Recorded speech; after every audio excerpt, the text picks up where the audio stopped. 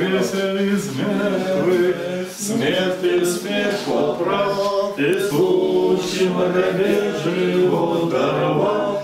Христос воскресе из мертвых, смерть и смерть поправ, и рабе живот даровал.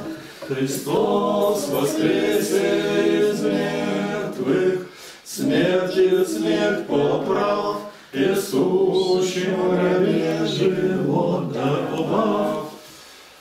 Господь и Бог наш, воскресший ради нашего спасения, столько претерпевший, даровавший нам такие счастливые, радостные мгновения уже здесь, на земле, и тем показавший, что Царство Небесное идет сейчас уже, и будет оно до скончания веков, длиться с теми, кто прибудет верными Тебе, всегда радующимися и торжествующими при слове «Христос воскрес!» Воистину воскрес! Начнем наше занятие. Благослови нас, Господи. Евангелие от Матфея, 7 глава, 24-25 стихи. Ты можешь со мной даже прямо так никого нет. Итак, э, всякого, кто слушает слова мои сии и исполняет их, уподоблю мужу благоразумному, который построил дом свой на камне, и пошел дождь, и разлились реки, и подули ветры, и устремились на дом тот. И он не упал, потому что основан был на камне. Без Бога толкование. А, Без Бога добродетель не может быть совершаема, посему говорит, уподоблю мужу благоразумному. Камень есть Христос, а дом – душа. Итак, кто устроит душу свою в делании заповедей Христовых, того не могут сокрушить ни дождь, то есть падающий с неба дьявол, ни реки, то есть вредные люди, размножающиеся от всего дождя, ни ветры, или духи лукавые, или вообще все искушения. Мы недавно читали и как раз строим, и, и как раз про дом и про камни, мы тоже камни эти ворочаем тут. И... Ну, мы крепко строим, фундамент тут. Ветры нам не страшны, дождь не страшный. На каким мы закончили стихом? 24-м? Да. Ну, с 24-го начали. Мы 24-го начали. а, начали. Ну, Златоуст говорит, вы слышали, как понесут наказание те, которые не соблюдают слов его? Хотя бы чудеса творили. Теперь вам должно знать и то, какими благами будут наслаждаться не только в грядущие века, но и в настоящем. Те, которые повинуются всем словам его. Э, Всякий, кто, сказал он, слышит слова мои сии и исполняет их, уподобится мужу мудрому. Видишь, как он разнообразит свою речь. Прежде говорит, не все, кто говорит мне, Господи, Господи, и теп- тем открывает себя самого. Потом говорит, творящий волю Отца моего, и опять представляет себя, себя судьею. Многие скажут мне в день тот, Господи, Господи, и скажу, не знаю вас. Наконец, здесь опять показывает, что Он имеет власть над всеми, почему и говорит, всякий, кто слышит слова мои сии, то есть Господь показывает, вот, Господи, Господи, то есть обращение прям к Нему, это прямая открытая речь. Как яговисты этого не читают, непонятно вообще для меня. Но однако вот это вот обращение как раз к Нему. Сам о себе. Сам о говорит. себе говорит. Это он говорит о себе. Вот Да. слова Златоуст говорит. Да. Толкователь нам. Толкователь, которого, которого наставлял сам апостол Павел. А апостол Многие Павла наставлял. Дух Святой. Господи, Господи, то есть он себя Богом называет. Да. Дальше говорит э, Златоуст. Наконец здесь опять показывает, что он имеет власть над всеми, почему и говорит, всякий, что слышит слова мои сии, так как он все уже рассказал о будущем, упомянув его царстве, его неизреченной награде, об утешении, о всем прочем тому подобном, то после этого, желая здесь доставить своим слушателям плоды, показывает, как сильна добродетель и в настоящей жизни. В чем же состоит сила той добродетели? Вот в чем. В том, что с нею живут безопасно, не колеблются ни от каких несчастий, стоят выше всяких гонителей, Что может сравниться с этим? Ну вот возьмем, допустим, когда неверующие люди и верующие люди, как они стоят, стоят против гонения. У неверующих людей цели нету. Неверующие люди показывают свою гордыню. От этого все, врагу не сдается наш гордый варяг. Мариша, у нас занятия идут.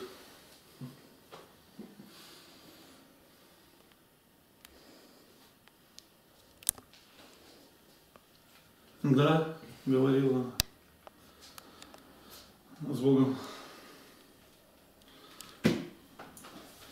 Нина Александровна переезжает в Клочки. Сообщение поступило. Помоги Господи. То есть она теперь оттуда будет приезжать. Уже, нам, уже на Благовестии не так часто увидим ее. Ну, может быть, это и к лучшему. Община есть община, отовсюду собираются люди. И вот мы видим, как, противосто... как противостоят верующие и неверующие. Вот э, рассказывал, у нас был Виктор Плеханов, на него, к мать его не разрешала ходить на занятия, когда еще ходили, даже в АГУ ходили. И это, брала топор прям, и на него прям шла, не отпущу тебя и все. И прям косяки вот так рядом рубила.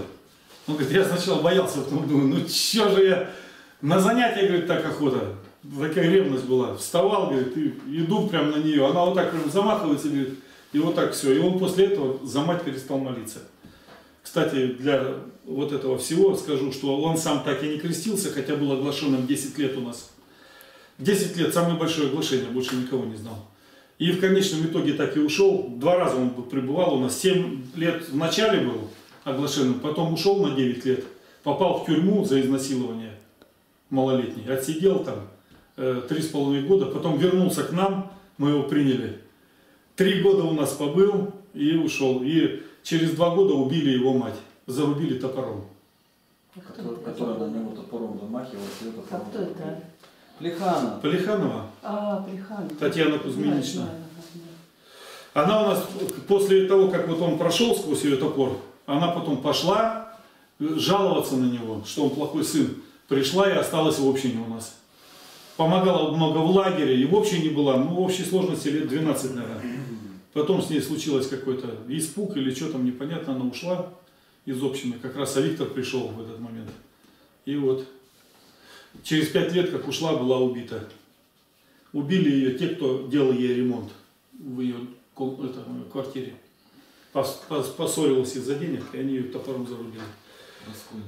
Поднявший меч от меча и погибнет. Поэтому даже думать нельзя, чтобы кого-то убить, зарубить или еще. Тем более поднять меч. Вот все знаете, все, кто против вас восстает, запрещает вам быть верными Христу, все погибнут. Раньше, позже, кто в мучениях скончается, а некоторые, может быть, обратятся. И э, Златоуст говорит, и как, говорит, хорошо было бы, если бы, говорит, Давид взял и Голиафа обратил, говорит, и он стал бы верующим. А еще лучше бы стало, если бы он обратил его, а Голиаф пошел бы к своим и начал их обращать, и они бы обратились, и все, и не было бы ни войны, ничего, и мир был бы воцарен, и все бы познали истинного единого Бога. То для этого что нужно делать? нужно иметь не камень, который он поднял, он поднял пять камней, а нужно было один камень, на котором все основано, вот о котором говорится. А. Этот камень, краеугольный камень, который отвергают строители, это Господь наш, что есть и дивно в очах наших, а все люди изумляются, как так? Он же никто, он же ну, самый слабый, самый ничтожный, и вдруг Откуда у него такая ревность? Откуда такие защитники у него? Откуда они возьмутся?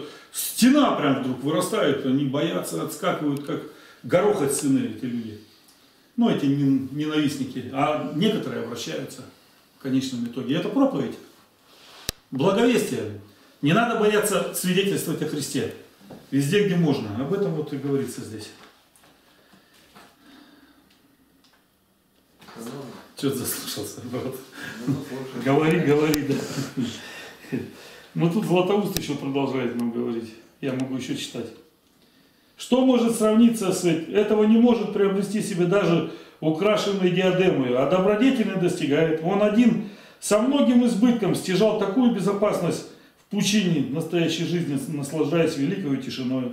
И подлинно удивительное дело, что он не приятную погоду, но во время жестокой бури, при великом смятении и при постоянных искушениях немало не может колебаться. И 25 стих идет дальше. Немало не может колебаться, 25 стих. Читай 25 А, вы же прочитали его, да? Да, 25. А, ну да, не может колебаться, читай его.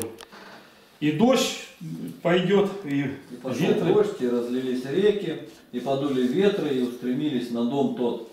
И он не упал, Потому что основа был на камне. Здесь дождем, реками и ветрами Господь иносказательно называет человеческие несчастья и злоключения, как то клеветы, наветы, скорби, смерть, погибель ближних, оскорбление от других и всякое другое зло, какое только бывает в настоящей жизни. Но душа праведного, говорит он, ничем не побеждается. Вот у нас вчера, ой, на том занятии было такое великое тут настроение, такие были скорби, там казалось, там что-то несчастье прям страшное. Ну, если это несчастье, скорби для кого-то, то надо вот стойко переносить. Но ты же видишь, в какой среде ты находишься. Все тут верующие, задают верующие вопросы, читают Библию. Если тебя это сильно коснулось, ты лучше останься, выясни до конца, в чем дело, и ты очень много себе узнаешь. Не только о других, как ты любишь слу- слушать клеветы и научничество. Как только о себе, так сразу, ах, растаяли все. А как о других, так «О, стоим скалой. А Господь скала, разби- вернее, молот, который разбивает скалу. Молот, он разбивает эту стену, ты смотришь, да когда я там отражаюсь, ну ты, ты, встал утречком и смотри на своего врага. Долго можешь смотреть на него, в глаза ему прям, в зеркало. Смотри, кто там отражается. Потом второй, кто враг у нас? Дьявол. Сатана, который действует невидимо, который не хочет, чтобы его знали. И третий враг кто? Мир. Правильно, мир. Вот он, мир вот этот, весь мир. Это враг настоящий, и мы против него ведем борьбу. И если ты решила, душа, убежать от этого мира, надо бежать. Не надо там с ним бороться на руках, там рестлинг, там давай кто кого. Не надо, убегай от него, от этого мира. Зачем тебе нужен? А в мир нужно идти не побеждать, потому что мы агнцы среди волков. А в мир идти нужно благовествовать. Мы можем быть побеждены. Об этом и говорится 13 глава Евангелия, э, книга Откровения, что и дано ему было, Антихристу, вести войну со святыми и победить их. Антихрист победит святых в конечном итоге. И написано, а как же, а, а что? А так и написано. И если бы не Господь, не пришествие ранее, то никакая плоть бы не спаслась. И только единицы верующих, где будут спасаться? В пещерах написано, в пропастях, в пустынях, в горах. Здесь не будут вот так сидеть, заниматься Словом Божьим. Всех вычислят. Вон там стоит машина, постоянно какая-то. Она может легко прослушивать все это. Под дребезжание окон. Они нацелены на окна, колебания. Лазер Считывает лазером, отражается и... Да. И считываются колебания окон. Ну вот, говорят, что уже вот у кого телефона уже все нас все слышат. и видят, Уже слышат всех? И видят. Эй, обратитесь ко Христу. Христос воскрес. Все, пошли А дальше. Еще там к окну поближе сейчас. Не, не страшно уже? Ой, Нет. Надо просто Христос воскрес сразу и все. И не надо там бояться бежать и все, убегать от мира. не надо бояться, никак. просто бежать и без страха. Да? Не, ну не надо бояться, что там потеряешь что-то. Веру надо оставлять, нужно быть простым как голубь и мудрым как змея. В смысле, змея ты говоришь, не, не надо бояться, не надо а, а, оглядываться, там, бояться. Да, да, да, да, жену. Да, что бояться, что ой, что-то ты там оставил такого великого. Видел, говорит Давид, я дерево огромное, многоветвистое, это не частица, как многоветвистое дерево, расширявшегося, корни там пустило это дерево. Оглянулся, раз и нет его, все. Погибло все дерево. А верующий, верующий, он как зеленеющее дерево, лист которого не вянет. И во всем, что он не сделает, во всем успевает. А что мы, вот и гараж строим, и занятия у нас, и все остальное прочее, и благовестие, и мы стараемся и молиться. Да. Вот так вот, И рано утром. Ой, Господи, да. И стар у нас, и млад, в общем, все слои На подбор. на подбор. ними. Не хватает только детишкам. Брат Игорь Чернобор. Черномор, да, Черномор не стал. Черномором, не- вот ты, скорее всего, Черномор. Ты же Мария. А, я моряк. Ясно. Шутка. Здорово. Благочестивая. Причина этого в том, что она основана на камне. Вот видишь, камнем здесь Христос называет твердость своего учения. Не просто Христос, а именно Евангелие Христова. Почему? Потому что Христос говорит, не я буду судить вас. И так странно слышать эти слова Евангелия. 12. 12.48. 12. Совершенно верно. И там он как говорит, цитата, Слово, которое я говорил, оно будет судить его последний день. правильно, его это человека. Человека. Ну да, кто не принимает слово. Да. Отвергающий меня, не принимающий слов моих, имеет судью себе. Слово, которое я говорил, оно судить его будет в последний Оно день. будет судить его, этого человека, в последний день. Человек думает, ага, сейчас Христос там что-то меня спросит, а что ты делал, а я вот скажу, да, Господи, там вот эта вот бабушка заболела, там еще что-то не хватило мне, а Христос спросит просто, ты читал, слышал слово это, он скажет, не слышал, раз предстанет ему такая картина, перед ним кто-то стоит и говорит ему это слово, а у него вылетает здесь, а сатана, а сатана с крючком стоит, ста- с такой бирюлькой стоит, раз ему из другого уха вытащил это слово, он почесал, эх, еще стоит опять радостный, другое слово вытащил. Он стоит, улыбается, а может хохочет в этот момент, пьяный какой-нибудь, с сигаретой или с пивом. Вот и все, что случилось с человеком. Не принял слов сих. А нужно было принимать. Ну давай дальше брат, прочитаем. Толкование там крепкое. 26-27 стихи. А всякий, кто слушает сии слова мои и не исполняет их, уподобится человеку безрассудному, который построил дом свой на песке, и пошел дождь, и разлились реки, и подули ветры, и налегли на дом тот, и он упал, и было падение его великое. Толкование. Не сказал уподоблю его, но сам собой уподобится неразумному тот, кто верует, но дел не творит. Такой человек строит на песке, то есть на непрочном основании. Посему от искушения он и падает. Когда прется, то есть устремится на него искушение, он падает падением великим. Из неверных никто не падает, потому что они и так уже всегда лежат на земле. Если падает, то верующий. От того-то и падение бывает великое, что он падает, будучи христианином. Да, сложный вопрос. Златоуст. Конечно. Него. Справедливо Спаситель назвал такого человека безрассудным. В самом деле, что может быть безрассуднее того, кто строит дом на песке, подъемлет труд, по, но плода и спокойствия не получает, а вместо того несет наказание. А что и преданные пороку трудятся, то всякому известно.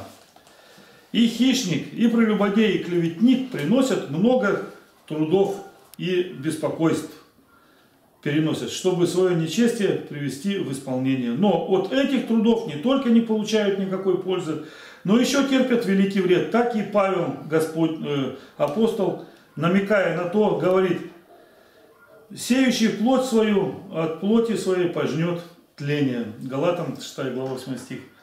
Такому-то сеятелю подобны и те, которые на песке строят как то, на блуде, роскоши, на пьянстве, на гневе и на всяком прочем.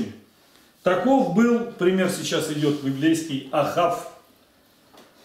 Ахав царь иудейский, кто не знает, он взял себе в жену Изавель, дочь соседнего с собой царства, естественно, она была язычница, это дочь царя соседнего царства, и она начала вводить свои порядки. Первым делом начала гнать пророков Божьих и убивать их. А он ничего смотрел. Не таков, но не таков был Илья пророк. Против... пол- Положивший пороку добродетель, мы тем лучше увидим различия между ними. Илья построил дом свой на камне, а тот, Ахав, на песке. А потому и царем, будучи, боялся и трепетал пророка, который имел только одну милость. Милость, то есть ко- кожья милость написано. Ну, такая небольшая, короткая шкурина была одета на нем. Не очень хорошо выделенная. Вся милость. Не милость, а милость.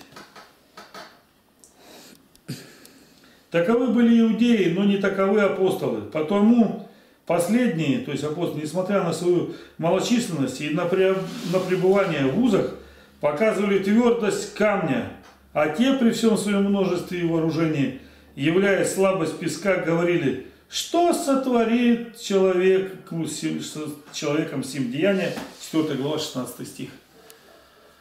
Всегда вот в этой церкви Христовой находятся люди, которые гонят те, которые по плоти живут, называя себя верующими, которые будут говорить Господи, Господи и так далее. Они гонят тех, и их, конечно, больше. А где мы это видим? Видим, Христос говорит, пришел к своим, свои его не приняли. Вот у меня был зна- знакомый один работал, он стал православным. Был баптистом, причем диаконом и в Иркутске. Был лет- летчик сам, закончил Барнаульское. Я же летал на самолетах, на истребителях. Потом в гражданской авиации работал диспетчером. Он потом перешел к лютеранам. У лютеранов был. Лютеране его хотели сделать тоже пресвитером. С которым крышу мокрые. Да, да, да, да. Рассказов Игорь, можно сказать имя. Очень, очень хороший, добродетельный человек. Трое детей, да, четверо даже, трое мальчиков, девочка большая. Жена, живут они в камне на оби.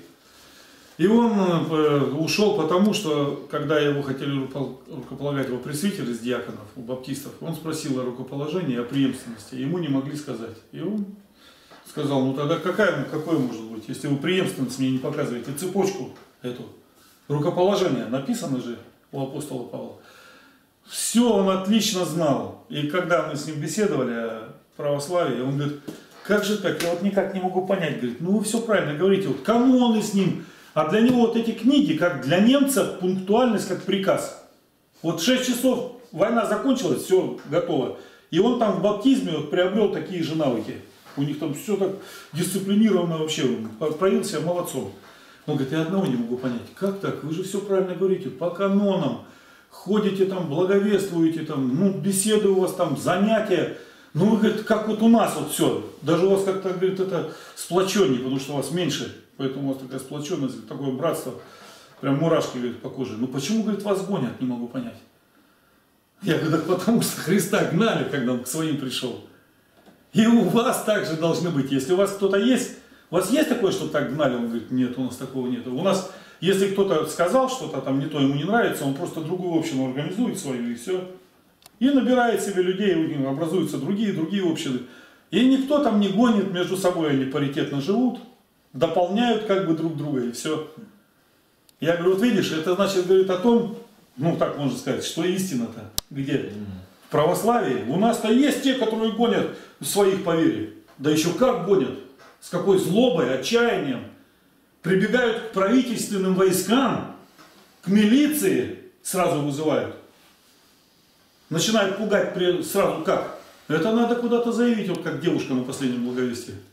Увидала у меня это, откуда, говорит, у вас наши книги? А они во всех храмах, эти книги, и даже не только в храмах. Ра- Все распространяют, кто может, разные организации православные и так далее. Огромная партия вышла. И она, это у нас они проходили, «А откуда вы взяли? Я, говорит, не знаю, что здесь происходит. Посмотрела туда, там Сергей идет с книгами, брат снимает, она такая, вы снимаете? Ну, снимайте, снимайте, вы доснимаетесь. Такая, все, она уже знает. Вы, говорит, какое-то зло тут делаете, я уже поняла. И все, и теперь она, слово вышло из уст ее, и теперь ей только осталось просто вот так набрать телефон, позвонить милиции, все, и сказать, приезжайте сюда, здесь своровали книги и раздают их, или там продают. И все, наручники обеспечены уже, там никто разбираться не будет. Но слава богу, не приехали пока. Пока не едут почему-то, я не знаю. Пока только берут брата вот за штраф какой-то непонятный. Да вот же брат ездил Ну, в полицию. Ну, брата, да, ну его как, его попросили после благовестия, никто даже не задержал, а потом просто расспросили, ну правда Ну, расспрашивали. Тоже же кто-то позвонил. Да, да, да, ну там однозначно, что его допрашивали по полной программе, он рассказывал им то, что они еще не понимают. Но у них нету слуг антихриста, слуги антихриста, они сейчас все учатся на теологическом факультете университета, они еще не научились. Теологический, знаете, что такое? Тео. Тео это Бог переводится с греческого. теологический, значит, Богословский. богословский. Вот они все узнают уже и будут тебя по глазам вычислять, свой ты или не свой. По речам твоим, как Игорь Третьяков в психушке там определяли, будет он вер- верующий, он действительно или нет. Очень странные вопросы задают. А Игнатия Тихоновича просто делали. Брали и кололи ему психотропные вещества, чтобы дурь из башки выб- выбросить о Боге. Вот так вот до этого. Дойдут еще до этого? Нет. Или сразу начнут стенки ставить, не знаем. Но мы видим, постепенно вот эта злоба, гонение своих, оно увеличивается, увеличивается, и оно придет к своему завершающему, своей завершающей фазе. И бояться этого не надо, потому что Христос претерпел, почему мы должны лучше жить. Мы вообще как сыр в масле катаемся. Христос говорит, негде, негде главу преклонить. Не- ученик не выше учителя своего говорит. Ты так, вы так же погибнете все. Ну, не так же все погибнете, но претерпевший до конца спасется, написано, вот и спасаться надо. Также все погибнете Терпением. Да. Ну, понятно, о чем он хотел сказать. Ну, бодрствуйте написано. Как вор, говорит, приду и так далее. Поэтому Гнали меня, был гнать. вас тут оставляю. Это говорит он как раз о тех, кто сейчас пастыри. Да. Брат. Ну, я вспомнил место писания. Не бойтесь убивающих тело.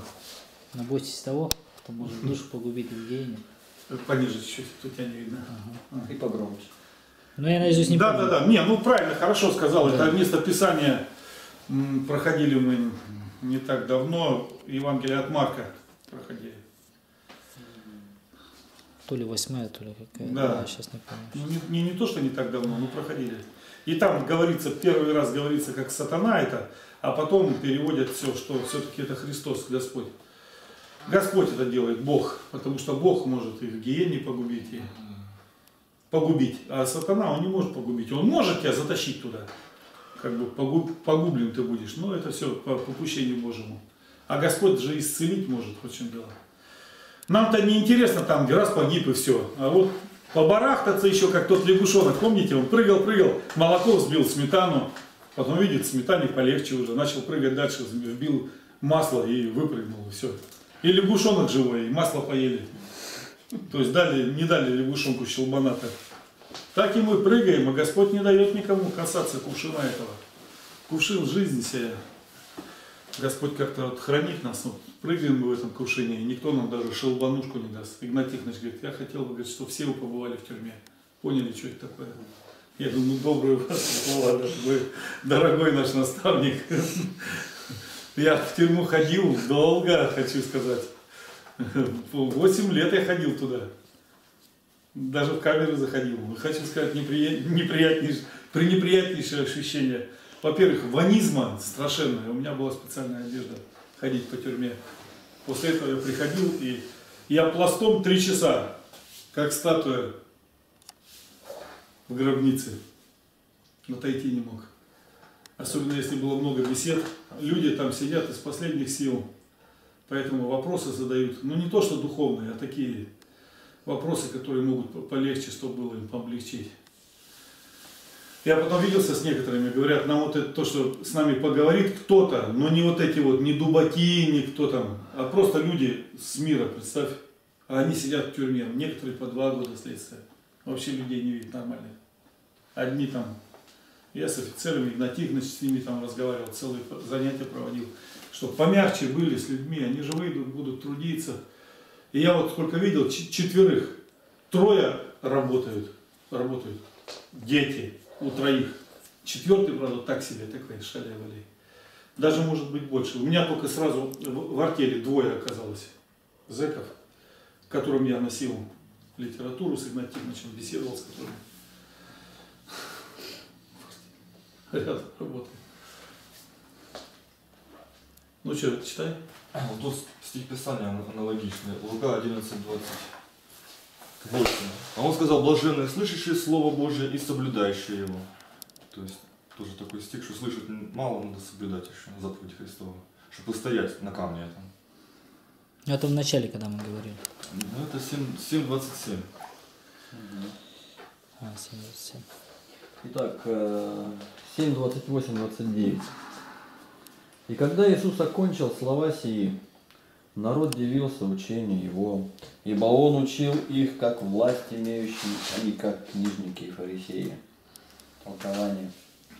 Дивились не начальники Ибо как они могли дивиться, когда завидовали ему?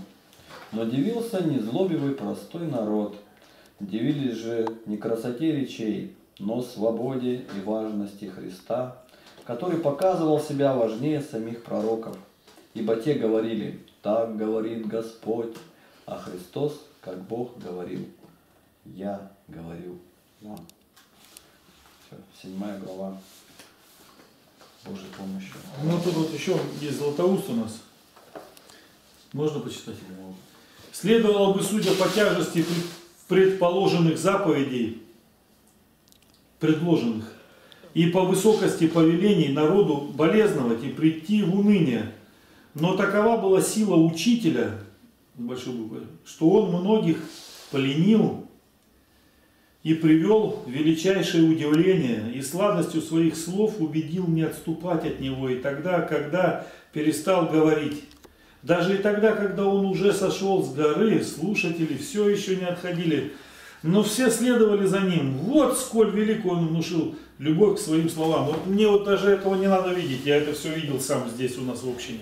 Я видел, когда народу собиралось сколько. Я могу так сказать, когда э, Игнатию Тихоновичу э, было, знаете, где вот эта стела это стоит, э, правозащитником порядка напротив Родины, это Россия, кинотеатр. Вот Россия кинотеатр, вот, и напротив такая стела черная стоит, и там УВД края называется. Знаете УВД? Внутрь, внутренний Там дел еще называется. памятник Дзержинскому. А, ну Нет. Да, да, да. Памятник завершен, это ФСБ. Ну, рядом там. Это не рядом. Нет? Нет. Это напротив России. Вот Россия, знаешь кинотеатр? Ну, да. Был когда-то, сейчас его нету. Напротив него УВД. И вот там огромный зал актовый. И вот Игнат Тимовича попросили выступить перед офицерским составом о Конституции рассказать и президенте. Что он думает. И он подготовил о Конституции и президенте речь свою. И выступал. Короче, генералы сидят, полковники. Я ни одного лейтенанта не видел. Капитаны самые младшие. Ну, может, старлеи были на заднем плане там. Сказали было 800 человек. 800 человек высшего состава приехали на курсы, и одни из них были курсы, там, ну, надо было, видать, выступить кому-то от, рели- из религиозной точки зрения. Библия, там, религия, православие, все вот это. Ну, это путинская, видать, была программа тогда. Это был 2000 год. И Игнатий Тихонович вот перед ними выступал. Вот Дали ему 15 минут. Вот он говорил 15 минут. Говорит, как 5 минут останется, говорит, покажешь мне вот так вот, говорит, руку. Я сижу, наблюдаю за часами, записываю его, диктофон поставил. Все, сижу, записываю. Оглянусь, так посмотрю, все сидят, слушают. И он говорил, говорит, гарант Конституции. Гарант Конституции это президент. Гарант Конституции президент, которого бошку и готовый, все, с одного пули. Принцу Иосифу Фердинанду пуля попала. Куда ему попала пуля? В голову попало. в шею попала, перебила артерию. Как на грех. У него вот так вот был френч, вот такой, стоячий воротник. Вот здесь был небольшой вырез, вот такой. Тут опять. И этот френч был из пули непробиваемого материала. Пуля про- прошла в одном миллиметре над, над стоечкой френча, которая выдержала бы удар пули. Задела артерию. Прям задела, чиркнула ее. И у него кровь сочилась, сочилась и вытека кровью стекла. А первая, это вторая пуля, а первая пуля попала его жене, которая сидела боком, и когда этот вытянулся, чтобы стрелять-то, она вот так привстала в этот момент, и его перекрыла. И ей попала прямо вот в, в- вот в брюшную полость, прошила здесь вот эти все органы жизневажные. И все. И ее пытались спасти. Все, никого нету. Вот он и гарант весь вышел. И началась война, тогда такая война. И все говорят, ну а можно было не воевать? Да в принципе ничего бы не было, там у него еще этих наследников была куча у старика. Старик-то еще правил, он даже не помер еще. А развязали такую войну, он всего лишь был принц, даже не царь. И, и уже развернул. Как может быть гарантом человека? Вот Игнатьевич про это и говорил. гарант нашей жизни Христос. О Боге говорил. Какую роль церковь здесь играет, как это все. Ну, вообще, вообще было интересно, конечно. Люди сидели, слушали. Вот краеугольный камень-то где. И люди еще после этого, остают, после этого оставались, вопросы там задавали. И потом, ну, вот Игнат Тихонович, он, если куда не, за- не захотел бы он попасть, он везде бы общий язык нашел. Потому что его все знают в милиции. Сейчас вот это- эти люди, которые полковники, капитаны, там, майоры, они сейчас уже генералы некоторые. Вот почему мы в тюрьму, в тюрьму могли ходить? Потому что тот, кто там был капитаном, его привозил, потом майора получил, полковника, и уже генералом над тюрьмой командует. Игнат Тихонович заходит, беседует с ним в кабинете, и он ему разрешает ходить по тюрьме. Кого не, ска- кого не спросишь, кто еще мог ходить по тюрьме? По тюрьме нельзя никому ходить. Туда, чтобы попасть, тебя всего обшмонают, все, нас никогда не смотрели. У нас даже груз не досматривали, а мы туда тоннами завозили. Мы могли туда чего только не пронести. Да в пулемет можно было пронести. Пачки вот такие газет. Их там тонны газетные пачки. Они потом говорят, слушайте, мы, говорит, уже, говорит, у нас все камеры обклеены, говорит, вот таким слоем газет. А им холодно, там прям камень вот такой, представьте, там, ну, зимой. И они газетками обклеивают, обклеивают на хлеб. Ну и правда теплее становится. А те приходят и срывают. А почему?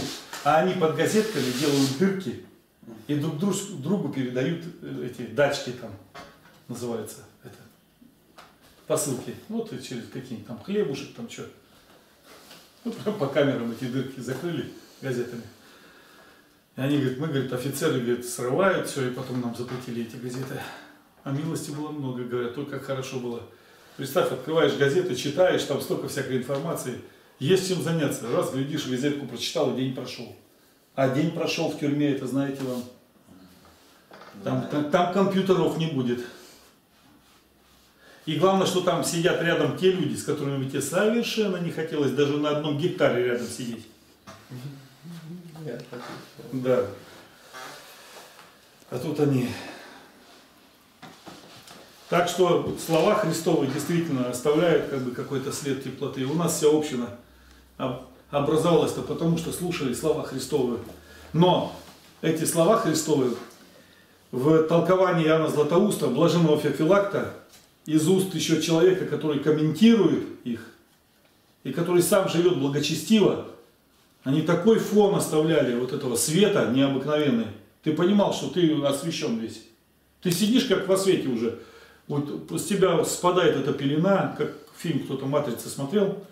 Так, фильм-то такой себе, но там большой ну, это, намек.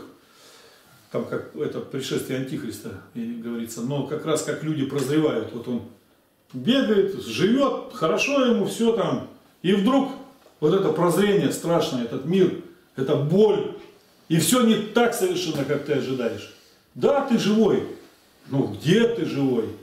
В каком мире ты живешь? И теперь надо с этим миром не просто биться до конца, а победить этот мир, победить сатану и главное победить себя. Вот в чем дело. Потому что ты-то другой уже. Тебя мир сформировал другим, паразитом настоящим, гадом и отребьем. А тебе нужно стать святым. А как известно, потому что Всевышний знает, что мы не можем быть святы, как Он свят. И однако Господь сказал, будьте святы, как я свят. И люди пугаются этого. И когда начинаешь с людьми говорить, говорить, что а как же святые люди? Да мы разве исполним? Это у вас одна такая община. Я говорю, так все от желания зависит, спасения. Как это у нас? Ну сделайте вторую такую общину, сделайте третью такую общину. Все от вас самих зависит. Еще вот Игнат Игнатьевич вначале говорил, он говорит, ну а кто-то говорит, а если вы рассеетесь, вот, а, Гос- а Игнат Игнатьевич говорит, а кто знает, может Господь нас специально собирает, чтобы мы рассеялись. Рассеемся где-то, и кому-то станет совестно, или кто-то будет дальше деятельно трудиться, и там возникнет община, там возникнет община. А это будут уже братские общины. Уже мы не просто там будем из, из Борисполя вызывать кого-то, а будем ездить туда или по ска- скайпу или где-то там, где, понимаешь, и вместе объединенно трудиться над миром. Вот что должно быть. Они и так законсервировались все в одном месте. Создали какой-то камень и назвали эту секту свою краеугольный камень. Мы же церковь. Мы должны быть везде. Она вселенская, апостольская, великая. Христова церковь. Что мы можем общего-то сказать про седьмую главу? Началась она хорошо, интересно очень, мне нравится. Особенно тем людям, которые хотят поставить вас к стенке, она очень хорошо начинается. Не судите. когда не судимы будете. Это первые слова, которые говорят священники сразу. Не судите и судимы не будете. А я хочу сказать, а суд-то все равно будет. Только если ты верный, ты на суд придешь как свидетель. Суд не для тебя, суд для тех, кто будет осужден. Да, верующий приходит так. А теперь, да- а теперь дальше, если ты идешь за Христом, хочешь знать слова Христа все и исполнять их, то, естественно, ты не, не судить будешь, а рассуждать будешь. Как исполнить эти слова? Поэтому Господь и говорит, будьте святы, как я свят. Будьте святы. Это не значит, что вы обязательно будете святыми. Будьте, то есть это все время побудительный такой мотив как бы.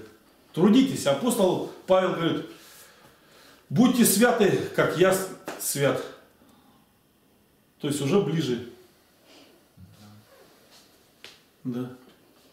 Ну, я дополню просто. Что как есть святые, которые для Господа трудятся, но также есть большие враги, это сами же и верующие. То есть, как и апостол, кто там говорил, то что говорит, что нет больше врагов. Я Златоужин говорил, да? Если у- ну, уз- узнал Да. человек там со стороны пришел, бы узнал заповеди говорит, то лучше бы врагов он не нашел, чем говорит, христиане. Православный. Вот я хотел стихотворение прочитать тут, очень поучительное. Извиняюсь за такую бумажку. Ты потом я не пере- переписал ее. Перепечатай себе лучше. Да, вот. Называется, это напис- написал Родион Михайлович Березов 1965 года. Это, как я понимаю, он баптистом был. Я видел во сне, как враги бичевали Христа. Свистели бичи, умирала во тьме красота. По телу страдальца кровавые струи текли, а женщины слабые плакали тихо вдали. О, как был унижен, о, как был изъязвлен Христос, кто миру спасение, любовь и надежду принес. Из тела святого куски вырывали бичи, глумились над Богом, безумцы, слепцы, палачи. Вот воин рукой взмахнул над Христом, что есть сил. Не вытерпел я, и его в содрогание схватил. «Чего ты хватаешь?» Он крикнул, бесстыдно грубя, и вдруг обернулся, и сразу узнал я себя. Глаза и лицо, все мое, неужели это я? И острая плеть для бичей, неужели моя? Холодном поту я проснулся, вокруг темнота. Так значит, я жизнью своей терзаю Христа? Любите друг друга, ведь это Христовы слова. Но лишь суетою забита моя голова. Терпением спасайтесь, но я не умею терпеть. И резкость моя, как ременная жгучая плеть, или ременная. И нежность, и кротость – вот признак хороших людей. А я очень часто не лучше, чем гнусный злодей. Мне нужно быть ангцем, а я как рыкающий лев. В душе очерствелой не дал урожая посев. Как в зеркале верном увидел себя я во сне. О Господи, что же для радости надо на мне? И Бог мне ответил, безмерна моя благодать. Чтоб праведным быть, надо слово мое соблюдать. Вот а когда-то о врагах говорили, кто есть враги. В первую очередь это я, там мир, Да. сатана. То есть это. Спаси Христос. Ну, покаянное такое все. Этот Родион Березов, э, не, не поймешь, тогда баптисты они такие все-таки были, у них покаянные какие-то чувства были. Да. Сейчас все спасен, все, и га-га-га. И надо идти там, разговаривать там, когда вот работали мы в обществе баптисты, и отделенные баптисты, там, и пятидесятники, в общем, конгломерат мощный. Баптисты ведут себя, особенно которые а, эти, не отделенные, а регистрированные. Просто кошмар, конечно. Какие, какую музыку они слушают. То, что вот мы поем вот эти песнопения, это отстой у них считается уже.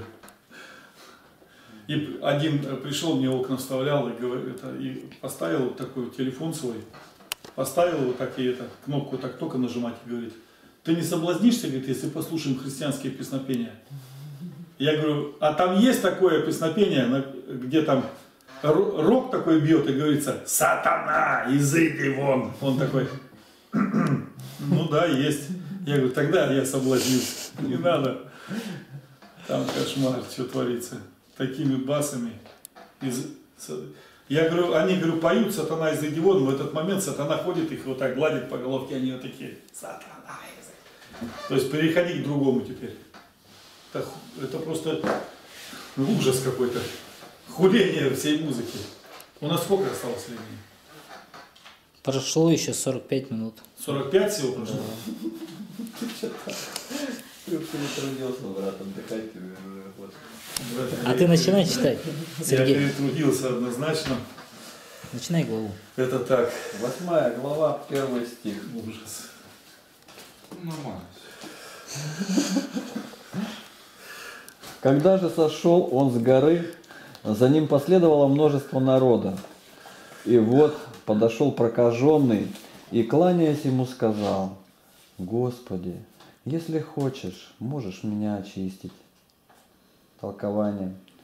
Рассудительный прокаженный, чтобы не воспрепятствовать учению, не взошел на гору.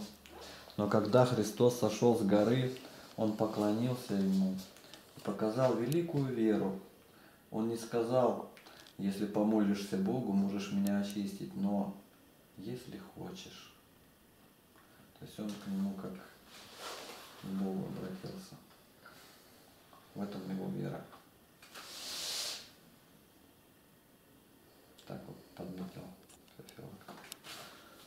Ну, а Златоуст говорит, а что, если мнение прокаженного, скажут, было погрешительным? В таком случае Христу надлежало бы его опровергнуть, изобличить и исправить. Но сделал ли Господь это? Нет. Напротив, все слова прокаженного он подкрепляет и утверждает. Потому-то и не сказал, очистися, но хочу очистися. Так что это понятие о могуществе Христовом становится уже не мнением прокаженного, но мыслью самого Христа. Апостолы не так говорили. Как же? Когда весь народ изумлялся, они говорили так. «На что вы смотрите? Э, Что это силою или властью нашей сотворил и ходит? Нет, не свои... А, ну-ка, Деяние 3 глава 12 стих. Вон откройте. Библия, вон Библия. Деяние третья О, глава. нет, Деяние третья глава. вот это на, Давай. Библию не надо. Деяние. Какой третья, сколько? 3.12. Я просто слово забыл здесь. Ну, то не погрешу еще. Деяние 3, 12. 12.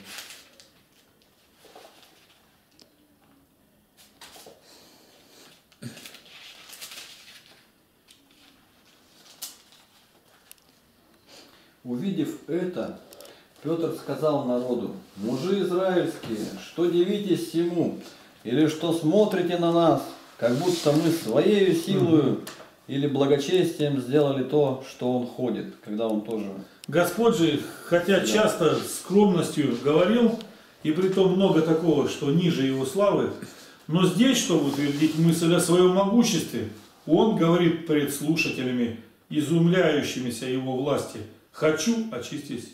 Хотя и прежде творил многие великие чудеса, но, как известно, таким образом никогда не говорил.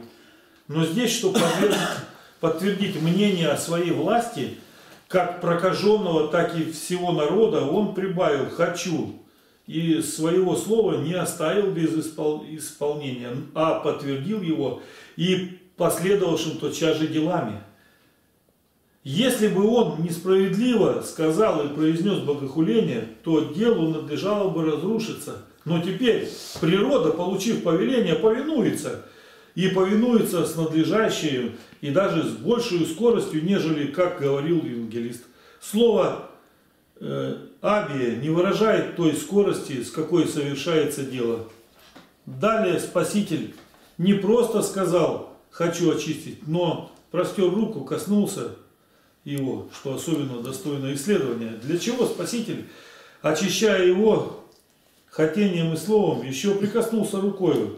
Кажется мне не для того, чего другого, как для того, чтобы и тем показать, что Господь не подлежит закону, но выше его, и что для чистого нет ничего нечистого. Так Елисей даже не посмотрел на Неимана.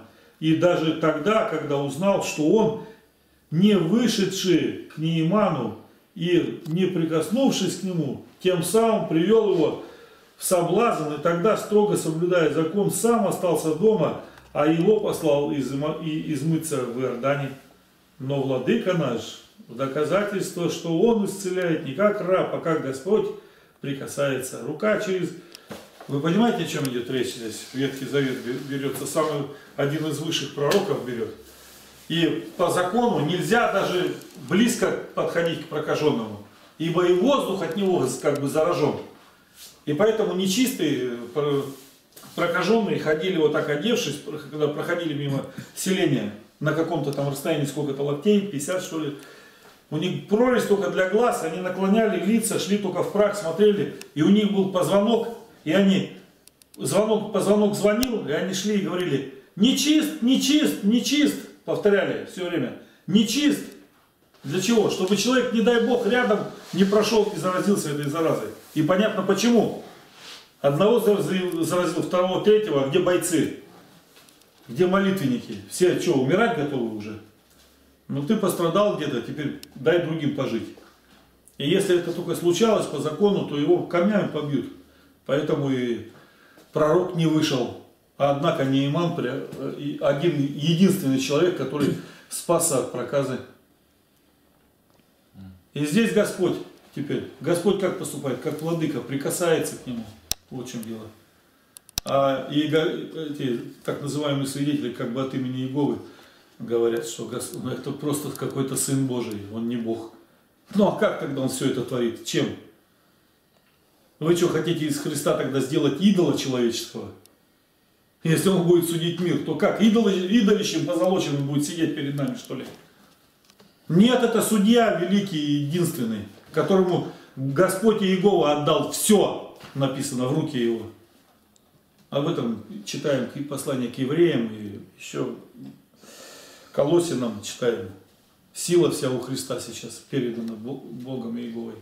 Да. Ну вот еще, когда я общался с свидетелями Иеговы, так они, называемыми от Да, они говорили, что Христос это не Бог, это ну, Сын Божий, они признают, что это Сын, но не Бог, потому что Он, нигде в Библии не сказано, что Он повелевал себе кланяться. То есть э, нигде в Библии такого не найдете. Ну, понятно, он не повелевал. Но вот здесь читаем. Прокаженный и кланяясь ему сказал, Господи. Прокаженный поклонился и назвал его Господом, Богом. И что Христос, если он действительно не Бог, а Сын Божий, как как апостол Петр в свое время сказал, не кланяйся мне, ты еще кланяешься, я такой да. же человек. Да, да. Это 10 глава. Почему в этом случае Христос ему не сказал не ничего? сказал ничего. А более того, он усугубил даже. Усугубил, хочу очистить. Он говорит, Бог, очисти, если хочешь, можешь меня очистить. Хочу очистить.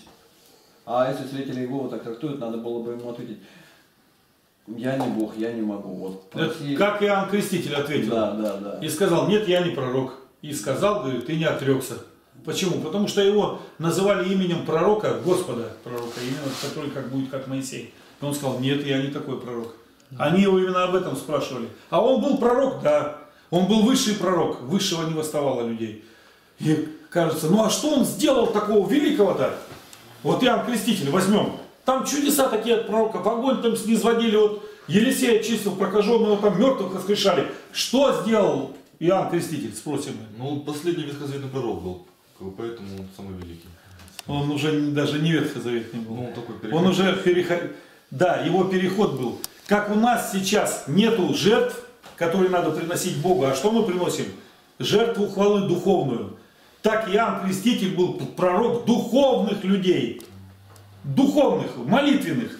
Те, которые, как говорит Господь, будут искать Бога в духе и истине. Вот кто.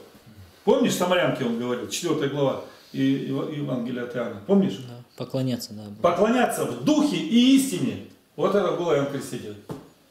Величайший пророк.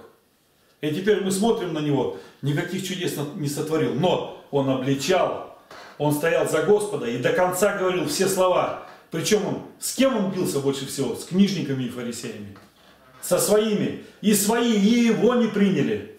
И его, он был назван светом, но не с большой буквы, а с маленькой, представляешь? Светом наз- назван был пророк. Человек для нас всех светом. Значит, есть люди, которые с маленькой буквы свет для нас, которые освещают. Вот Игнатий Тихонович Лапкин однозначно такой человек. Наставник духовный, который имеет свет от Бога. И он освещает словами своими. И вот все, что мы сейчас тут с вами говорим, толкование, златоуст открываем, правила у нас, книга правил на всякий случай лежит. Почему? Потому что мы православные, мы живем по правилам, вот этим.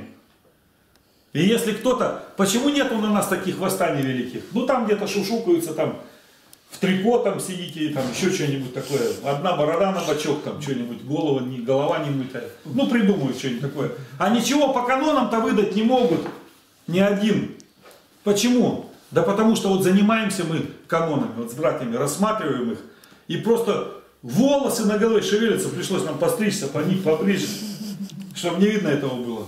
Что Бог уготовывает сейчас священноначалию нашему, митрополитам, епископам, па- пастырям, э, духовным батюшкам и диаконам, и же с ними. За все то отступление, которое они тут сотворили уже. Сколько канонов нарушается спокойно, сколько людей нарушают каноны по их молчаливому и гласному согласию. Ничего не творят того, чтобы показать милость и истину, а а и суд и истину, а и милость, которую Христос говорит. И Господь вот нам сейчас показывает, как нужно вести себя. И словом, и делом все делать. У них ни слова, ни дела. А фарисеи были такие, много говорили, и написано, но и перстом ничего не делали, одним даже, чтобы это сделать, что говорили. А Господь говорит, вот что вам фарисеи говорят, книжники, то исполняйте и делайте. Но по их делам не поступайте. Почему? Потому что они преданием старцев все заменили. Не похоже на наше сегодняшнее православие? Откуда взялось монашество? Все перетекло плавно в монашество. А все, что мирское сейчас, плавно перетекло в поклонение тем людям, которые защищали нас от фашизма. От фашизма. Господь ну, силой какого-то, не знаю, домостроительства своего, судьбы какой-то непонятной, оставил этот коммунизм. Как он оставил его, не понимаю. В других странах он осужден давно, как фашизм, наравне с фашизмом. У нас коммунизм, коммунистическая партия, люди голосуют, идут. Один стоит, коммунист главный, что-то там вещает такое, говорит президенту тут, что нужно делать там. Эй, мы, коммунисты! Как вы не висите на осинах, ничего не понятно еще, как иуды все. Сколько вы убили людей-то верующих? Вам даже знаться нельзя, но в телевизор выходят, на всю планету вещают. А почему? Вот эта война помогла им. И главное, сейчас руками верующих людей, ну, батюшек там и так далее, в священноначале, повышается авторитет этого коммунизма. Вот в чем дело. Это вообще никуда не годится. Я вот сегодня включал брату Никите беседу Андрея Смелягина, я тебя тоже, наверное, включал, со священниками, там четыре, что ли, священника было.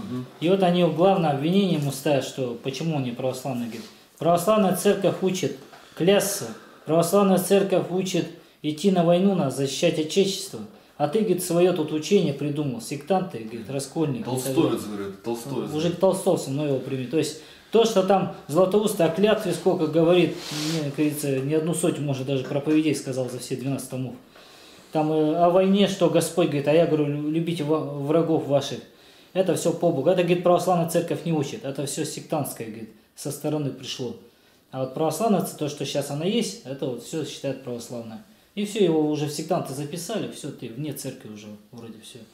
Тебя учат. Гонения воздвигнули Ну, на гонения. истину. Ну и там други- по другим вопросам тоже. Ну, это просто один из примеров, то, что мы Да. сейчас говорим. Да. О этом краеугольном камне Христе. Христа гнали, и должны быть свои в церковь. И церковь есть вроде бы, кажется, как так? А где церковь тогда получается? А написано, церковь, она всегда святая, а и через недостойных пастырей освящается человек. Говорит и Златоуст, и все. А недостойные пастыри такие, которые даже не крещены, и каноны их извергают из сана. Единственное, что на них только нету теперь обличительного слова э, вышестоящего начальства. Мирянин не может обличить. Может, по канонам написано, может обличить мирянин. Вот так вот. Но должен быть опять же суд. Суд, когда это будет? Говорят, вот в Московской патриархии этот суд есть. А вот в зарубежной церкви суд этот действует, действительно есть он. Но так как там постоянное крещение троекратное происходит, таких э, это вот, ну, каких-то явных отклонений нету, потому что ну, церковь существует как при царе батюшке, на тех же основах она. Ну и мы относимся к ней, считаем себя чадами зарубежной церкви православной. И нам хорошо, совесть нас не отличает. Хотя, если где-то скажешь, это еще американские, а сейчас Америка не в почете. Ох и тяжко нам. Это тебе даже не Украина. Представьте, а у нас еще Нью-Йоркский и Монреальский и митрополит. Нью- Нью-Йоркский и Монреальский. Так вот, Это как все равно, что как во времена войны ты бы, ты бы сказал, что у тебя дядя в Берлине живет. И посылку ему надо туда отправить. Так нам, нам в этой как раз и тычут люди, и священники, и другие. Все, да ты чё, Сразу, а что вы не говорите, что вы зарубежная церковь? Что вы все? Типа православная, православная, говорите, что зарубежная. Ну, тут раз на крещение это тоже. Да. А все-таки они нас вычислили.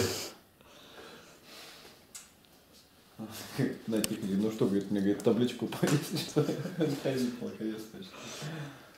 Но никто не ожидал, конечно, такого Чё, подвоха от нас.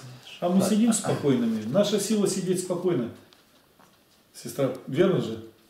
Раиса Николаевна. Да, Сидит спокойно и все, слушает Слово Божие. Да не, это нас Ничего не сидит. скажешь нам слово-то? Сидеть ты спокойно тихая, она как- не может. Тихая, Она- как мышка.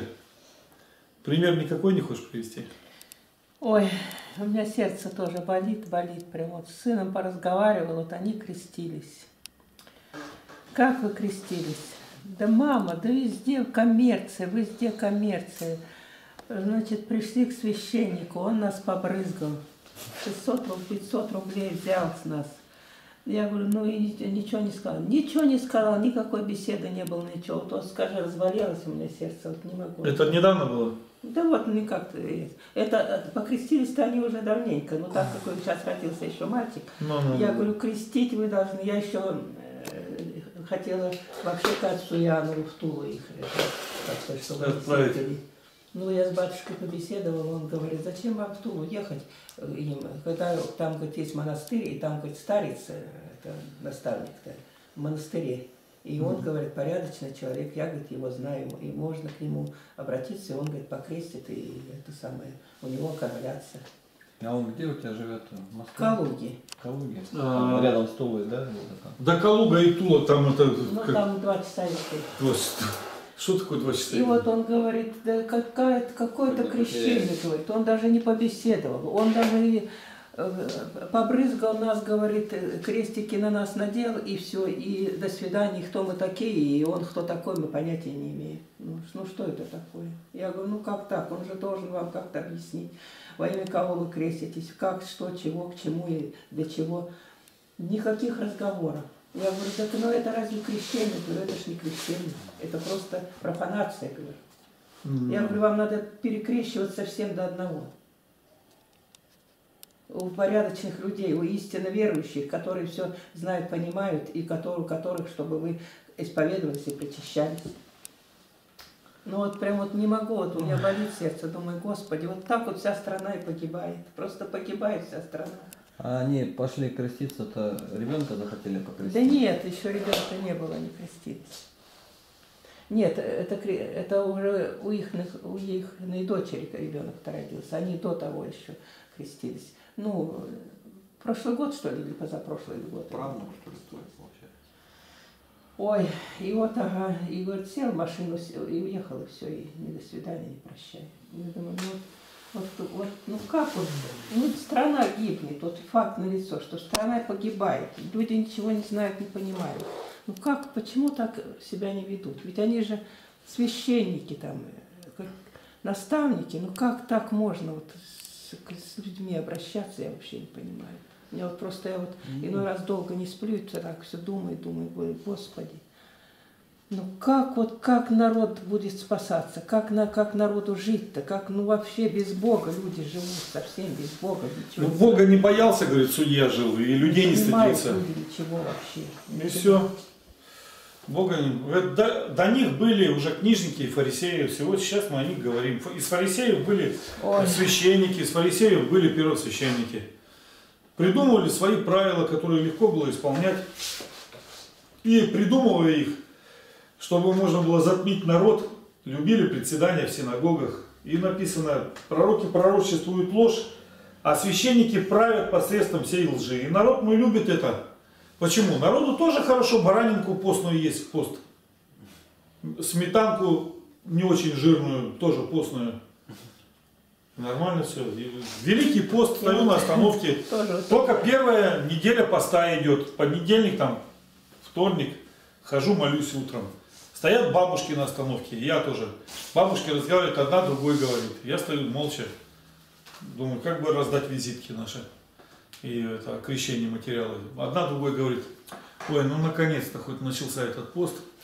Сейчас домой приеду. Надо молодежи-то своей что-то сегодня приготовить. Но я уже взяла баранинки попоснее, говорит.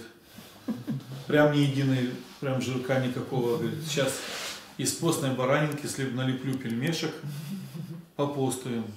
То есть я не от винта говорил то, что перед этим. Меня вот как сколыхнуло. Это еще был первый год, я только 96-й год был. Я прям кинулся в эту толпу бабушек. Говорю, да пост, говорю, говорит о том, что поститься надо. Мясо вообще есть нельзя. Ни молока, ни мяса, ни яиц. Рыбу нельзя. Даже растительное масло нельзя. Запрещено канонами церковными. Они смотрят на меня, бабки как столпились. Человек 30 вокруг. Только вышли, вот там на остановке стоим. На Ники- там выше Никитина это. А- Они вообще, и они слушают, рот открыл, ну, открыв, ну, я вот начал ну, в общем, все благовествовать. И вдруг проходят две бабки такие, тун-тун-тун-тун, потихонечку идут такие одна за другой, с этими вархаму, вархамушками своими, черненькие, монашки так называемые, инокини. Мимо раз проходят, заглянула одна такая, крысочкой, хоп, назад, отошла так в сторону и кричит, это кого вы слушаете? Это же лапкинцы! Это сектанты! Кричит это. Полукрыса, получеловек. Ой, ой, И бабушки все раз рассосались, осталось три, может, бабушки, которые все, ну, которые не поняли ничего. А другие к ним еще подходят. Вы что делаете? Отдайте ему обратно, отдайте ему обратно. Я визитки раздал, еще у нас были на бумажках. Такие. А Помнишь, И вот, вот это сейчас вот эти А, пожары. даже визитки не было, визиток, а, это просто материалы были одни. Вот эти пожары сейчас идут. Все, вот я, я читать-то ничего не читаю, только слушаю. Когда слушаю, слушаю, потом остановлю и вот раз, размышляю, думаю. Ну, люди совсем не знают Бога, вот совсем не знают. А ведь Сколько люди, которые верующие были, и как они вот просили Бога, какое-то там событие такое, какая-то беда наступала, как они все молились, и как-то Господь все останавливал это, эту беду. А вот сейчас думаю, вот такие пожары, такое все горит, да если бы вы, люди, дали, знали бы Бога, да вы бы все-то вышли бы, все-то вышли бы, да упали бы, да со слезами бы молились, да просили бы Господа Бога, да Господь, может, дождь бы и пролил, да и заптушил бы этот пожар. Но ведь этого же нету, нигде же этого нет. Люди вообще не знают Бога, ну вообще. Даже нигде. И потому на страну, на нашу все эти беды и все скорби, и все идет. Потому что Бог попускает это. Люди Бога вообще не знают. И это единицы только знают, вот именно единицы, а которые даже вот ходят да, в эти храмы, они действительно, как ты говоришь, что смета, этот, этот баранина, вообще не станешь говорить, я вот со своими бабками там, стану говорить, они, да какой там Бог, без Бога, э, как э, э, мы и так плохо живем. Как, если Какой там пост, говорит, если, я и так всегда пощусь.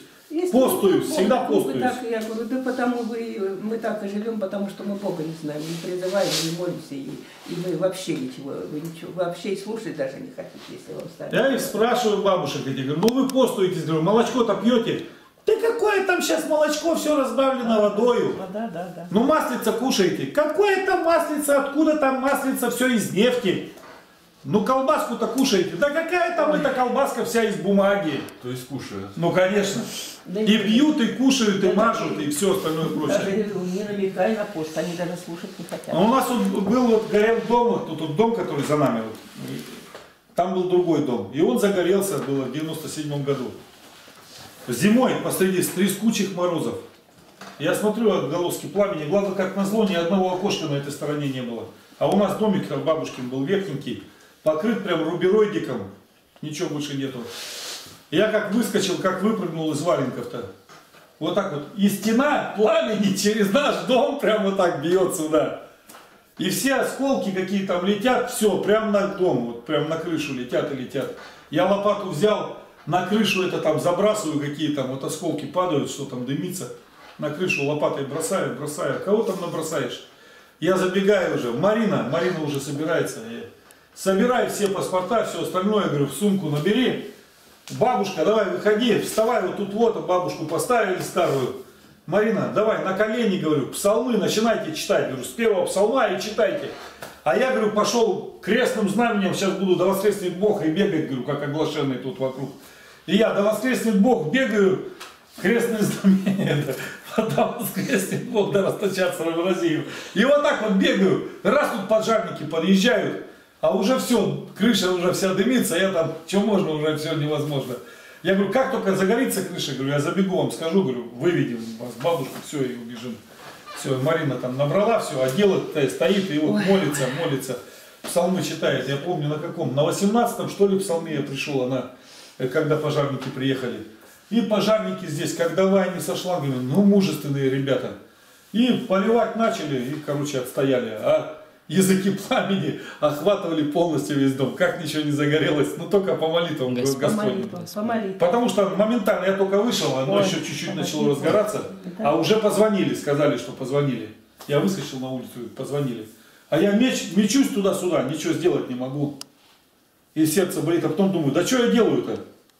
Надо щит защитный Христов сделать и все, что я ничего не смогу. Я говорю, это точно проверка. И главное, да. мне так понравилось, Марина, ни слова не говоря, вообще ни полслова, только побледнела немного, взяла так псалтырь и пошла с бабушкой читают. Бабушка стоит, ой, ой, ой, ой, ой, ой, господи, господи, господи. Наверное, первый раз молится. Ну вот везде такие беды, вот везде такие, вот во всей стране такие беды. Ну нигде даже никто не скажет, что ну почему люди не выходят, не молитвы, не молятся, и Бога-то почему не просят-то? Ну почему? Ну обратились бы к Господу Богу. Ну а вот вы заметили, Путин сколько говорит, ни разу не сказал ни слово разу, Бог. Ни разу. А везде стоит со свечкой, все, и ни разу слово Бог да, не сказал. И священников. И Медведев такой же. И когда подходит патриарх, они к нему подходят, он Путин, он не знает, какую походку к патриарху применить. Он так ходит таким бодрячком, когда выходит. Ворота такие здоровые открываются, туда такой тюнь -тюнь -тюнь -тюнь, маленький, кажется, такой сейчас богатырь выйдет, да, с хоккейной клюшкой огромной. Не, вот такой малый тюнь, и он таким бодрячком. А к патриарху подойдет, э, как-то корявенько вот так вот все, что он, что Медведев. Ручку что-то ему там стараются, не знаю, что с ним сделать. А ему руку целовать надо. Зашел от Бога вестник тебе. Патриарх. Так вот. А они ничего нету у них. Но часа зато было. Путин кланяется и делает крестное знамение в сто раз лучше или в тысячу, чем патриарх. Или любой там, кто митрополит стоит. Патриарх вообще он не умеет. Патриарх вообще что-то Да, да, да, да, да. фигушки вот тут лепит какие-то. А Путин четко, заметила, четко Путин прям молодец. он Вот в этом плане. Но он военный, он чистый фашист. Ему сказали закон, значит закон. Все, ему как показали, кто-то там по-правильному показали, и он так и делает. И даже на патриарха не смотрит. Я так понимаю, думаю, ну патриарх немощный, пузенька, низенька, близенько. Ничего, короче, нету на нем. Как выбрали, непонятно.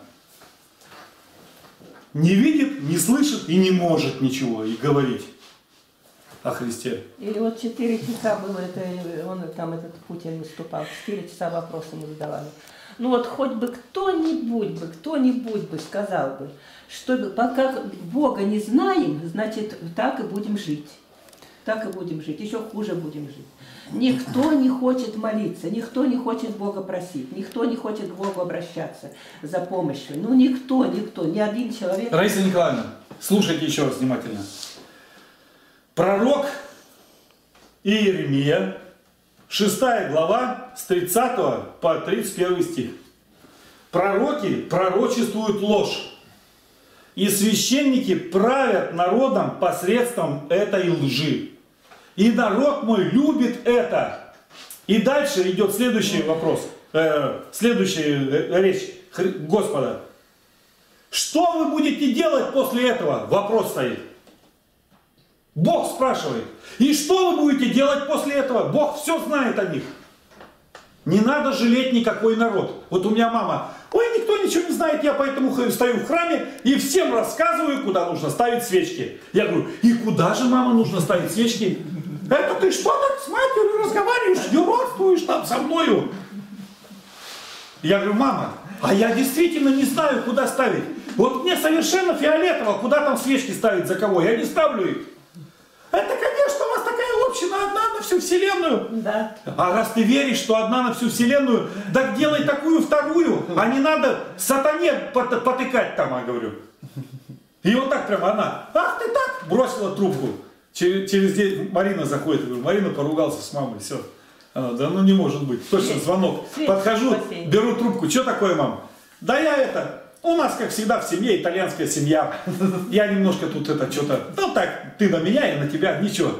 Так что ты там говоришь? Что ты там говоришь? Я говорю, мама, перестань сатане потыкать, я прошу тебя. Я говорю, за... я тебе расскажу, почему я так думаю. Почему? Документальный фильм смотрю о войне, называется «Труженики тыла во время войны». Как людей гнобили до конца уже, и люди на все шли. Сколько миллионов снарядов там выпустили и так далее. И я говорю, я вспомнил бабушку. Бабушка, вот она продукт, мама родилась в 44 году. И бабушка продукт этой системы. Она по- вспоминает только 44 год, как было тяжело, как вот все нужно было отдавать, нечего было есть, и все куда-то, ну надо, надо, надо, надо, надо, надо, надо. Я говорю, и все, и бабушка сейчас где? Она в аду находится. Молиться не молилась, в церковь не ходила, о Христе никому ничего не рассказывала, потому что ничего не... И знать не хотела, вот что дело. Сестры прям приходили, она лежмо лежала, с ней разговаривали, она, а, ба, я ничего не понимаю, что вам нужно, а, а, вот так вот плакала, все, и все. И даже помолиться о ней нельзя. Я говорю, а ты Господа призываешь, ходишь в церковь, там, внучку наставляешь, там, читаешь Библию, и занимаешься таким делом, что после которого тебе помолиться даже нельзя будет, мама. О чем буду молиться я, скажи? Бабушку потеряли уже. Дедушка помер, тоже это, э, неверующий был. Один за другим все неверующие, неверующие. И тебя наставляешь, наставляешь. Сюда приезжаешь, тут сколько проповедей читают. Игнатий Тихонович с тобой беседует, батюшка беседует. До крещения тебя доводят. И ты все-таки занимаешься нечестиями, занимаешься этим. Зачем этим людям говорить что-то в церкви? Если ты такая умная, останови ты их на пороге и заранее расскажи им все. Не так много там рассказывать. Мальчики налево, девочки направо. Все, и больше ничего нету. Нет, ты стоишь в церкви, умничаешь. Нет, там наоборот. Еще и продаешь там это, свечки. Да я не продаю, я просто стою рядом, контролирую деньги. Это называется, понятно, как шустро? Ой, То есть деньги кладут вот сюда, а там берут, а сдачу как? А сдачу надо сказать, ну возьмите там сдачу сами, а нету там еще что-то, ну придется поковыряться вам отдать. Это что, не торговля? И вот так Бога пытаются объегорить, обмануть, как хочешь, об- обкрутить. А приходят священники и что? Как вы там все делали? Вот так, вот так? Молодцы, правильно, нас так в семинарии учат. Чтобы и вашим, и нашим. Это предание старцев, это обман великий. Проповеди бы надо заставить на всю Россию, на всю Россию, на весь мир, заставить проповедь делать только Игнатий Тихонович. Я вот сейчас слушаю его Больше проповедь. никого нельзя. Нельзя, нельзя. Я такой тоже вывод сделала. Я вот слушаю сейчас его проповеди, вот поэтому. Думаю, ну вот, этот, а патриарх-то, я его сколько раз слышала, да он ничего толком не... Он даже слово Бог-то редко говорит. Да. И вот думаю, вот если бы его поставили бы, мне кажется, люди какие-то бы все равно бы изменились. Ну, конечно. Однозначно. Потому что вера от слышания, Божий слышание от, Слова Божьего. Конечно. Ну ведь, ну взяли бы, поставили, прекрасно знают, что такой проповедник есть в России, что он может говорить, что он всю Библию знает наизусть, всех э, святых знает наизусть, все наизусть знает. Да он бы такие проповеди делал, чтобы люди, что люди вообще бы, не знаю, как бы были благодарны. Я так думаю. Вот я хочу так, чтобы вот поставили бы его проповедником на всю Россию. У вас всегда были такие, то вы переписывались с этим, с кем там вы переписывались-то, который сидел там, Березовский или там кто там, то еще там что-то вы делали, у вас что только не было. То звонили куда-то, чтобы Игнатий Ивановича на телевидении. Ну нету этого, все. И не будет. Это все равно, что апостолу Павлу сказал бы Нерон, ну что ты везде от меня бегаешь? Сейчас будет амфитеатр, гладиаторов не выпустим, а тебя выпустим. И говори ты проповедь о Христе. Нерон такой, молодец. Куда львов? Куда там львов пускаете? Ничего не слышно. Апостол Павел говорит тут. А там еще апостол Петр. Можно он? И давай его сюда. Ой, а я бы его поставила бы в первую очередь. Да, понятное дело, и мы бы поставили это с вами с удовольствием. Но А нету я тут- А этого. я уже знаю, что... И поэтому Сережа идет за Ну, полчаса до этого и ведет сюда и вас и садит. Путину бы послать бы, Путину бы, Путину. Путину заехали в президентскую библиотеку, отдали книги, сам Игнатий Тихонович. Дальше что еще? Кадырову даже отдал еще. Ну, может, Сейчас Кадыров обратится и скажет, тут Игнатий Тихонович нам книги Пора. прислал, мы начитались и стали христианами. Ой, как жалко. Нет, давайте трудиться там, где мы есть. А вы над своей душой будете трудиться. И на благовестие и так далее. Господь каждому заповедовал трудиться. Да. Не надо Игнатия а то придумали Игнатия Тихоновича, бросили под такой паровоз, как будто он не знает. Он готов на это, как бы. А с другой стороны, непонятно ничего. Да. Представьте, на весь мир, вот тут и уже убийцы придут. Потому что сразу тут понаедут, знаете, сколько прихлебателей под это дело. Это же не просто так все, вы только подумайте. Да, конечно, вон вчера я тоже слушала по радио, как этим голову опять отрубали, этот говорил. Мы просто далековато от этого места, так бы нам уже давно порубали бы. Но Господь дал в Барнауле организоваться в общине Да. христианской вообще, православной. Невероятно просто. И самое интересное, я иду вот по этой улице, отсюда и вниз, и прохожу мимо, а я родился, это 99-й, Восточная 99, а я родился номер 3 Восточная, под стук колес, у меня дедушка паровозником был. Я прямо около пивоварки там жил, и там родился. И там первые мои года прошли, маленького совсем младенца. Потом уже увезли меня. И я иду вниз по этой улице к железнодорожному вокзалу. И, и оглашенный еще. И думаю, Господи, как ты так сделал? Где родился, там и пригодился, что ли? Через столько лет, через 30 лет взял меня сюда за волосы, как этого пророка Авакума, и поставил на эту улицу, на улицу Восточную, где я родился. И все спрашивают, а ты вообще не отсюда, наверное, да? Я говорю, ну, да, в принципе, не отсюда, но по паспорту вот родился в Барнауле. Ничего сделать не могу, с зубами скрежещу.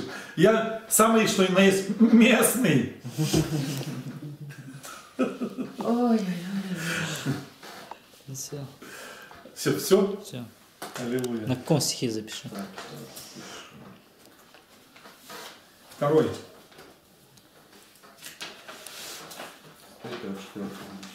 Брат, Сейчас. Гимн христианства исполним. Он такой сложненький, поэтому мы тут с братом, если кто-то захочет подхватить. Как, ну даже на текст. Текст, вот он текст, крупной буквой. Готов, брат? Присаживайся сюда, поближе. Гимн христианства. Да. Ты стоя хочешь? Это же гимн. Ну давай. Так мы выше не войдем все, поэтому. Как пойдем? Давай. Вот. Надо вставать. Да нет, вам-то зачем? Кто петь будет? Сравнение на знамя. Вот знамя. Крест. К свободе призваны вы, братья, к свободе от своих грехов. Вам Христос раскрывает объятья, избавляет от смерти оков. Дух желает иного, чем плоть. На Христовых весь мир ополчится, но своих не оставит Господь. А скорби, что при жизни ждут, по смерти славу принесут. Отныне цель одна — облечься во Христа. Вперед,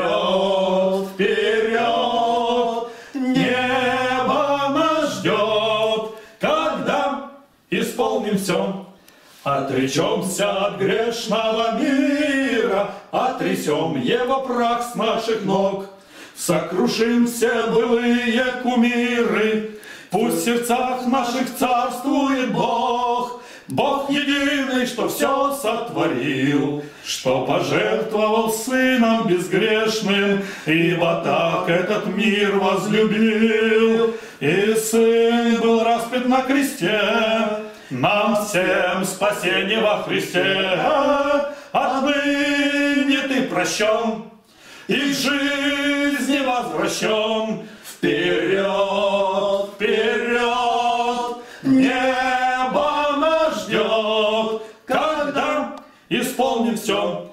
Мы пойдем к нашим страждущим братьям, мы духовно голодным пойдем.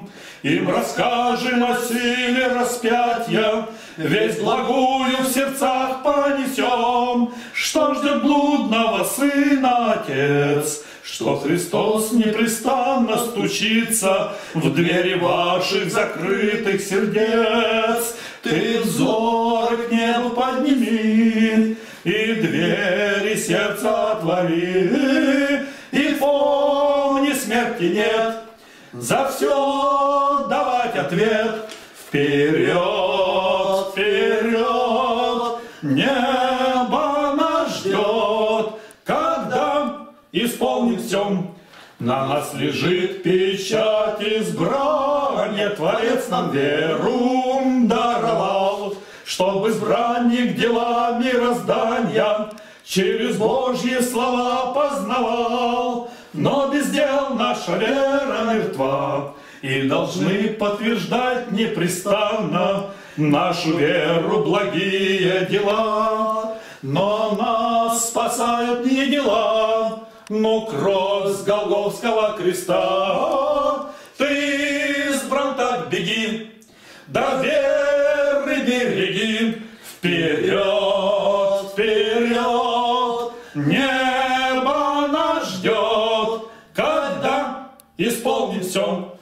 Так наполним уста славословием за великие милости к нам.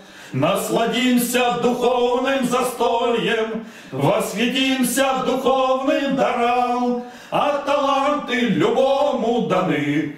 Мы ведь братья единое тело, и друг другу служить мы должны, познавши братскую любовь.